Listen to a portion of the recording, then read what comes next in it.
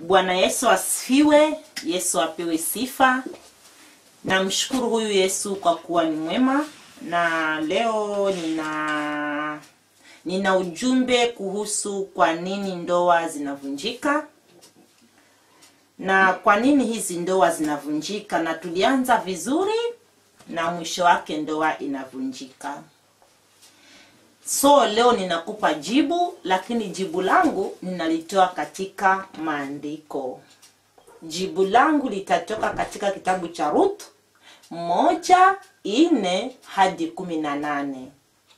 Hapo utajua ya kwamba kinachosumbua ndoa yako siyo marafiki, siyo majirani, siyo wenye wivu, bali kinachosumbua ndoa yako ni ile miungu ya kwenu ulikotoka na ile miungu ya kule uliko na ile miungu ya kwa bwanako au kwa bibi yako.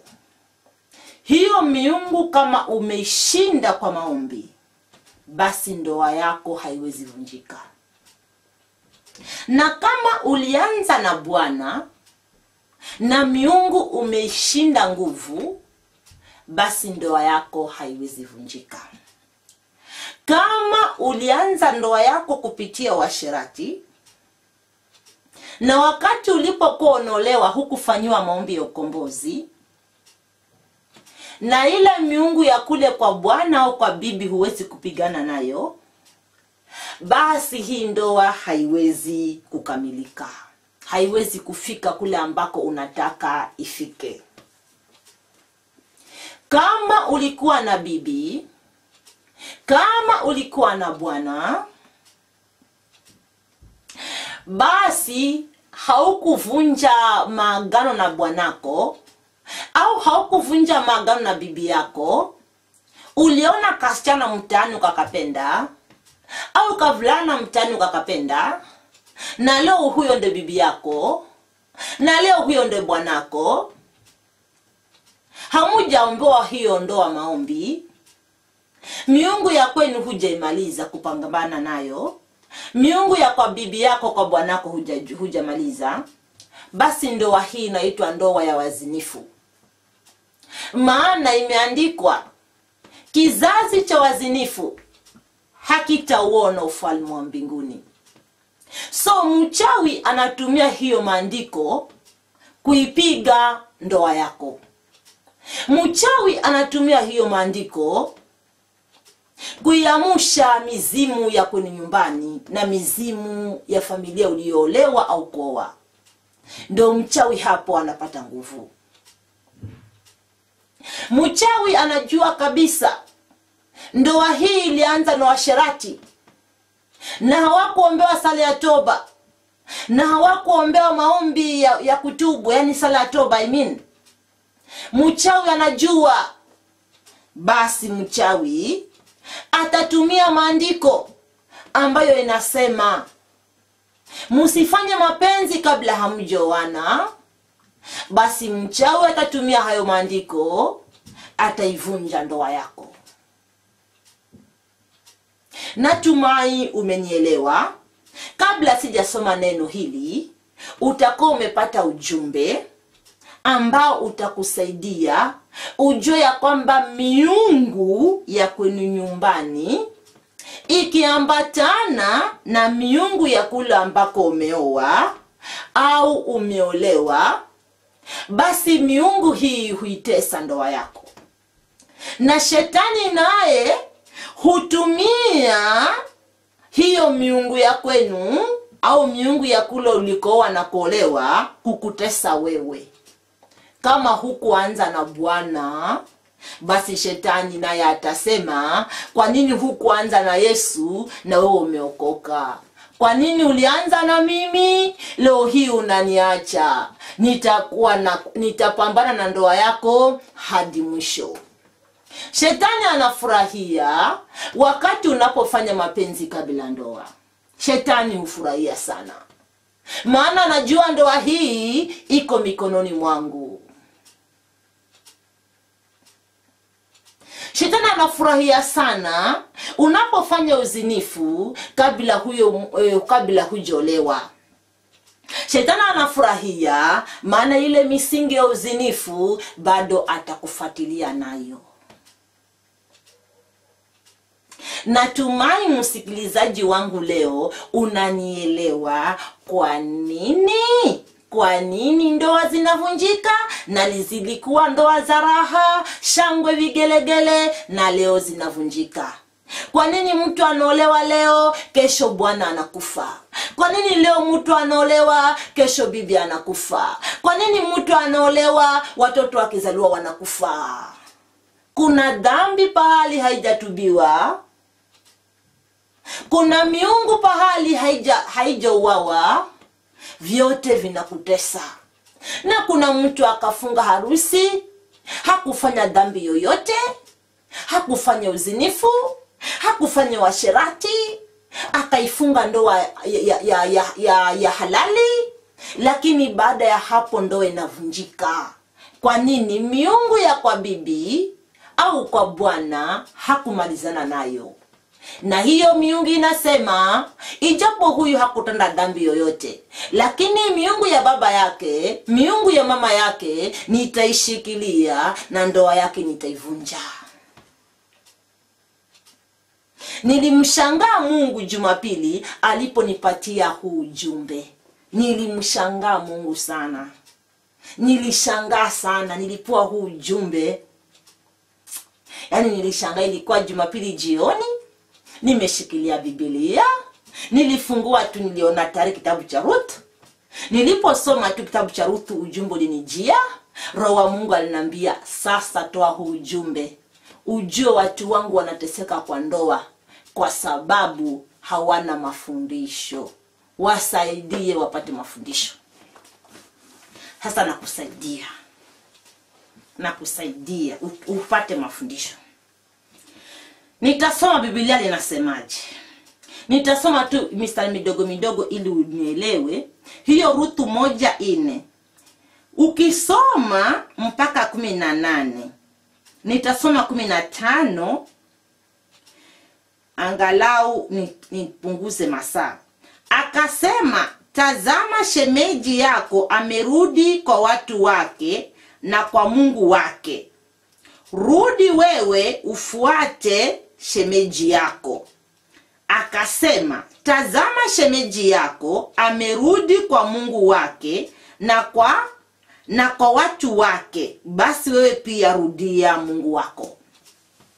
Hapa ni naumi naumi alikuwa na wakazawana wawili na wale wakazawana wawili wa, walifiliwa na mabwana zao na bwana wa naumi pia alikufa so kulingana na desturi za hiyo mila wakati ule ulikuwa ukifiliwa na bwana kama kuna ndugu yake bwanako anakuoa. Lakini wakati ule naumi bwanake hakuwa na ndugu. Alafu watoto wa naumi pia hawakuwa na mandugu. So naumi aliwaambia wakaza wanawake rudini kwa miungu yenu mukatende mema kama mimi vile mlivyonitendea mema. Nanielewa na mimi nami nimefiliwa na bwanangu na bwanangu hakuwa na ndugu wa kunioa. Kwa hivyo mimi nami narudi kwa mungu wangu miungu. Alisema narudi kwa miungu yangu. Ninarudi kwa miungu yangu maana sina mtu wa kunioa kwa hii familia. Mimi sina mtu wa kunioa kwa hii familia. Ninyi nanyi hamuna watu wa kuwaoa kwa hii familia. Kwa hivyo rudieni miungu yenu na mimi nami nairudia miungu yangu so rutu alisema mimi sitairudia miungu ya kule kwetu maana ile miungu nimeachana nayo. Miungu yako wewe Naomi ndo itakuwa miungu yangu mimi. Unaelewa? Hapo tunaweka maagano. Hiyo ni maagano ambayo rutu aliweka maagano ya kwamba huyo mungu wako wewe naomi ndo atakuwa mungu wangu mimi. Pahali utakapozikwa naumi mimi nitazikwa hapo. Hmm? pahali wewe naumi utakapokwenda mimi nitakwenda. Mungu wa baba zako naumi ndo atakuwa mungu wangu mimi.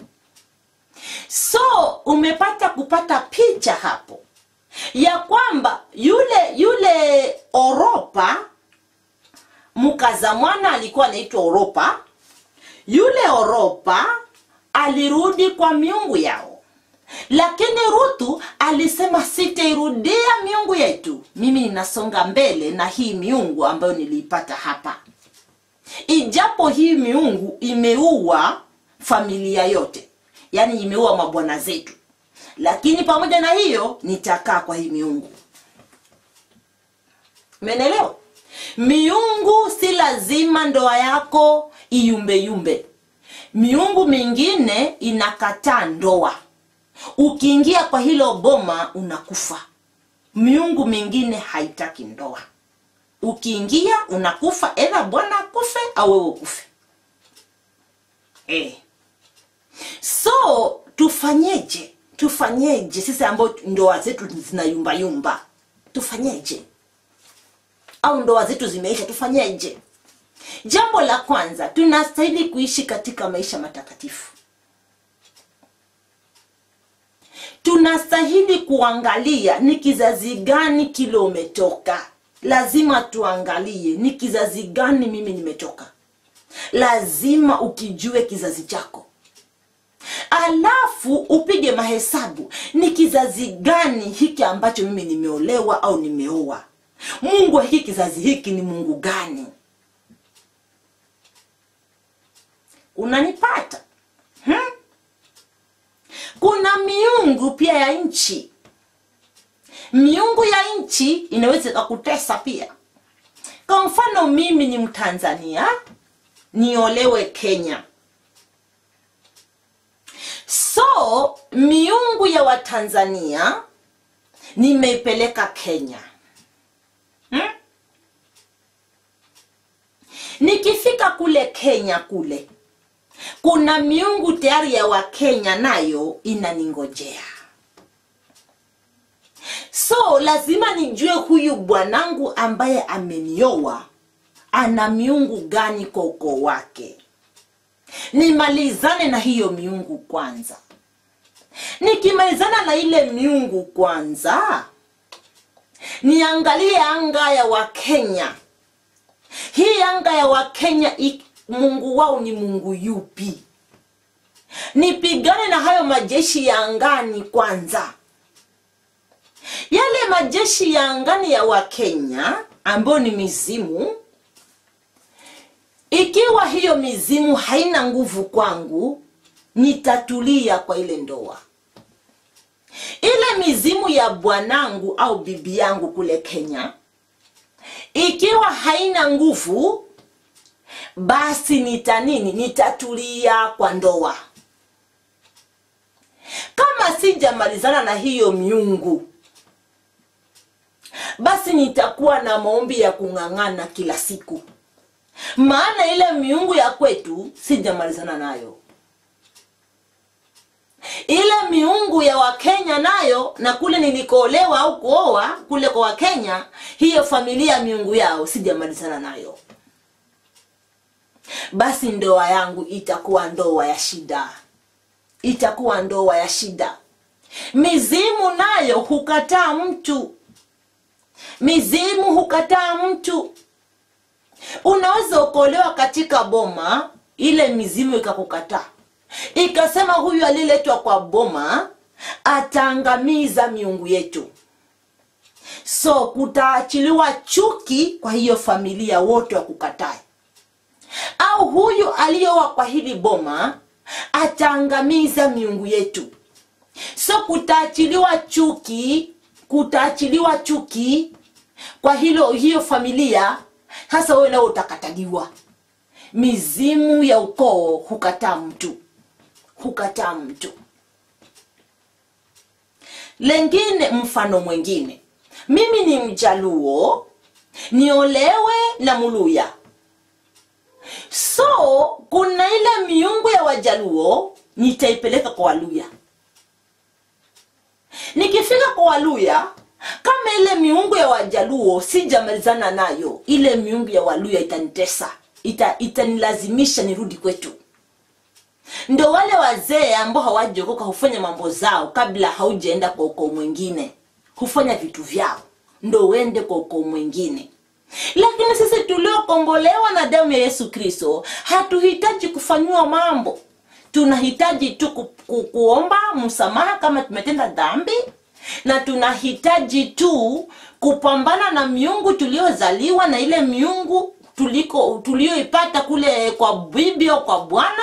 Tupambane nayo kimaombi na mungu wetu anaweza. Hakuna kitu ambacho kimemshinda huyu mungu wetu. Hakuna kabisa. Anayesumbua ndoa yako hata kama ni mchawi wachawi wanapata nguvu kupitia miungu ya kwenu wanapata nguvu kupitia nini? Kupitia hizo dhambi ulizozitenda kabla hujaingia kwa ndoa? So kile ambacho kimebaki ni kutubu na kuisimamisha ndoa yako tena kwa yesu kristo na kuanza upya. Bibilia linasema tazama kuanzia leo nyinyi si wawili tena bali mmekuwa kitu kimoja tazama kuanzia leo. Nyinyi si wawili tena bali mmekuwa kitu kimoja. So unapofanya mapenzi na mtu ile miungu ya huyo mtu tayari umeipata hapo kwa hapo. Ndo uzinifu na uasherati haufai maana kama hautatubu hiyo miungu ya ya miungu ya joni miungu ya thomas miungu ya ya nani miungu ya ya nani nani yote na kupiga wewe. Kwa sababu ulifanya vitu vingi una miungu mingi imekuzunguka. Hmm? haya. So kile ambacho nataka nikusaidie nikueleze nikufahamishe nikujulishe ni kitu kimoja. Naomi alisema rudini kwa miungu yenu kwa mamama zenu na mababa zenu.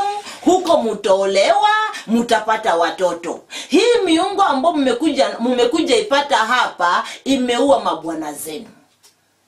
Yeah? unanipata sasa.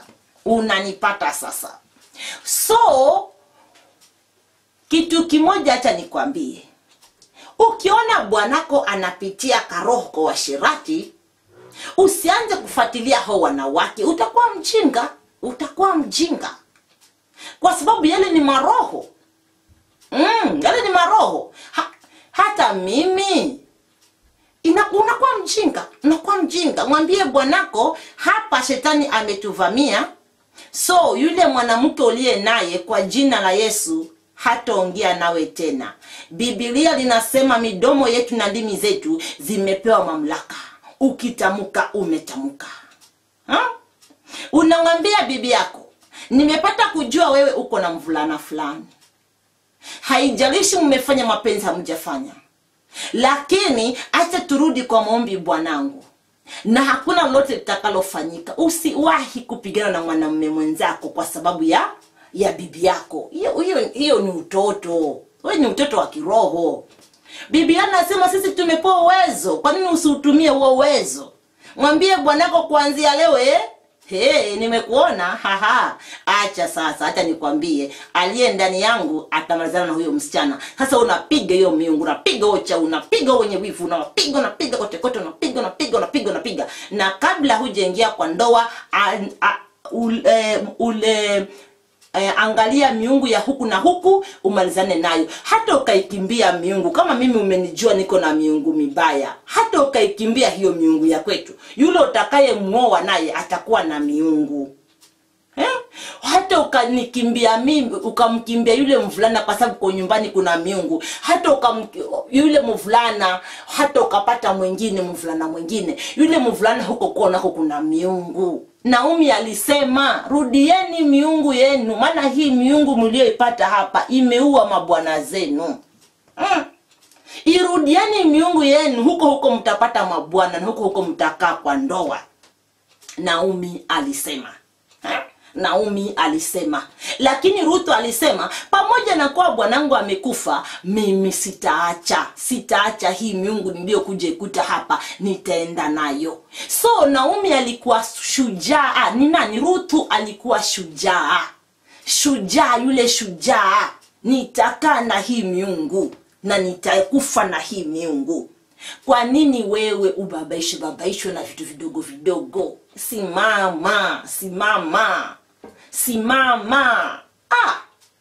yaani nahitaji mtu apokee kitu ajue ya kwamba kuolewa si sura. Kuolewa ni kibali. Kuoa si sura. Kuoa ni kibali. Hmm? kuolewa si fedha. Kuolewa ni kibali. Na kuoa si kwa sababu ya fedha. Kuoa ni kibali. Hmm? kwa nini hiki kibali ulichokipewa hukitumii na kumbazana na shetani. Hmm? wangekuwa wenye sura ndo wanaolewa wengine tungekuwa tumeachwa. Hmm? wangekuwa matajiri ndo wanaolewa wengine tungekuwa tumeachwa. Lakini kitu kinaitwa kibali ni kitu muhimu sana kwa ndoa. Na hicho hicho kibali ambacho kilikusaidia ukaingia kwa ndoa hicho hicho kibali kit- kitamalizana na miungu ya kwenu? Kitamalizana na miungu ya kule ulikolewa? Kitamalizana na ile miungu ya ya ya hiyo anga unayopiga? Kitamalizana. Kitamalizana. Usiseme mimi sita sitaoa yule sitaoa sita, sita yule msichana.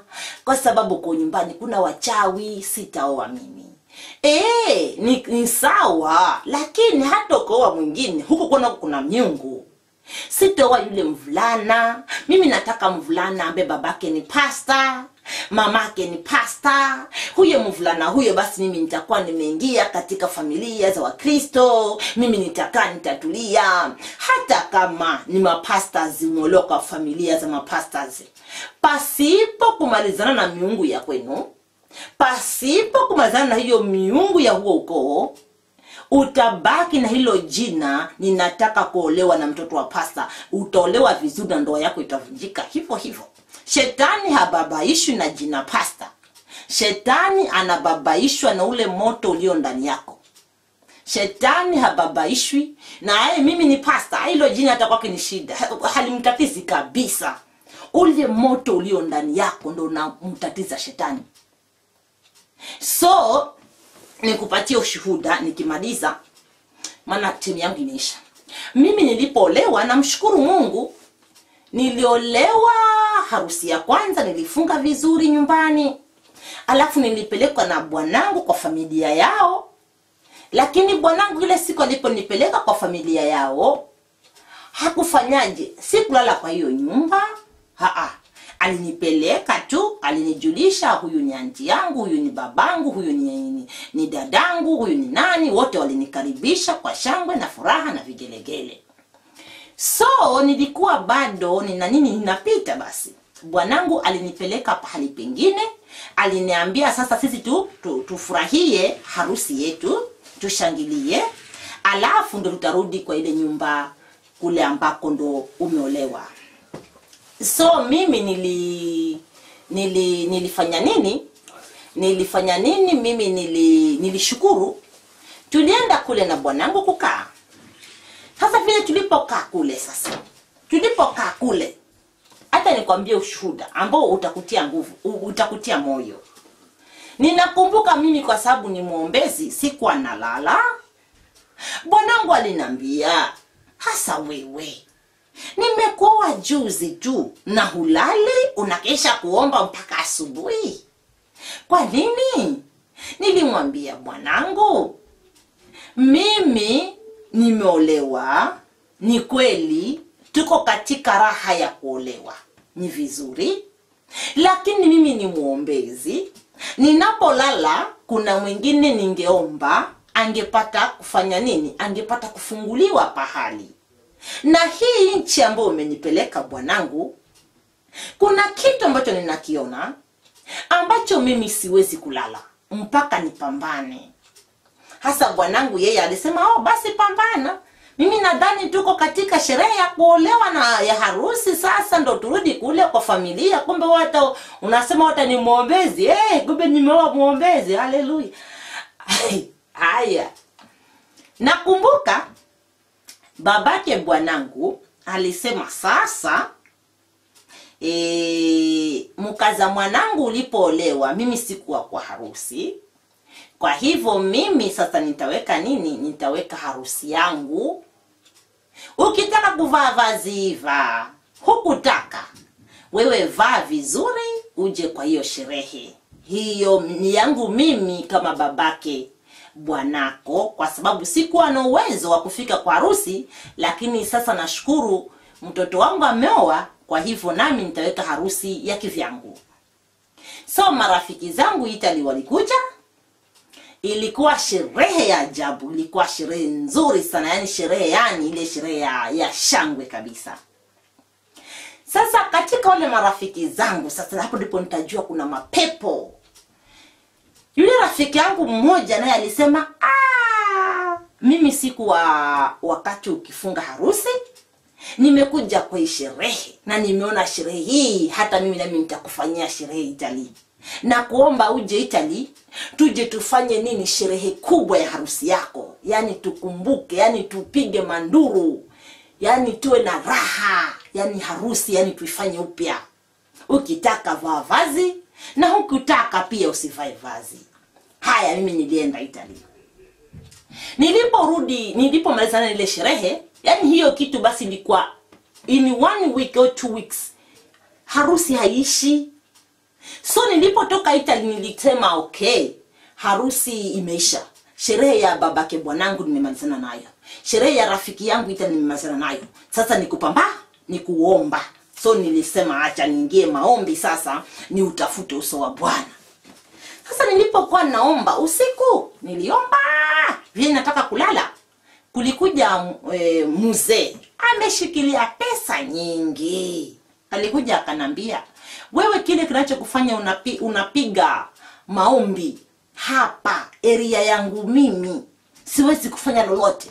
Ninakuona wewe ni maskini. Ninakupata hizi pesa wewe uache kuomba hii anga ya hapa uachane nayo. Ndo ninakwambia ukiolewa angalia anga hapo pale umeolewa. Usipochunga itakumaliza. Mimi ile pesa nilikataa. Haya. Niliporudi kwa kina bwanangu sasa hmm? kwa kina bwanangu sasa yaani bwanangu si nimekwambia alinichukua kunipeleka pahali lakini kwa nyumba ya babake sikuweza kulala. So nilipo bwanangu aliponaambia sasa leo twende tukalale katika nyumba ya babangu tulipoenda pale acha nikwambie hiyo siku ya kwanza tayari nilipofunga macho tu niliona watu wawili wamekaa kwa stairs. Nilimwambia bwanangu nilipofungua macho nilimwambia bwanangu nimeona mwanamke amevaa nguo hii amejifunga kikitambaa kitambaa. Na mwanamke huyu amevaa nguo hii. Anaambia oh wao watu unaowaongea basi huyo unaimwongea ni nyanyangu. Ni nyanyangu mimi. Hicho kitambaa ambacho nakisema ndo kitambaa chake alichokuwa anavaa. Hakuna aliyeona nywele zake. Ah, okay. Na huyu mwanamke ambaye yuko abcd ah, huyu mwanamke ni abcd huyu naye alikufa kitambo. Huyu mwanamke naye alikufa kitambo. Nilimwambia basi mbona nimeona amekaa kwa stairs alinishangaa alinambia nimejua hao watu unaowaongea kupitia hizo nguo ambazo umeziongea ume, ume kwa hivyo nilijua lazima nipambane na miungu ya familia ndio nikae kwa ndoa. Kwa hivyo ninashukuru mungu ndoa yangu inang'ara na itang'ara hadi kifo. Mubarikiwe time yangu imeisha na ningeongea zaidi mungebarikiwa zaidi lakini hiyo time imeisha nampenda katika bwana. Pigeni mizimu ya familia. Pigeni mizimu ya familia ndo mfike kule mnakotaka kufika. Mubarikiwe. Zaidi ya yote nampenda katika jina la yesu. Yesu ni mwokozi wa maisha yangu. Hajaniacha na hata niacha mubarikiwe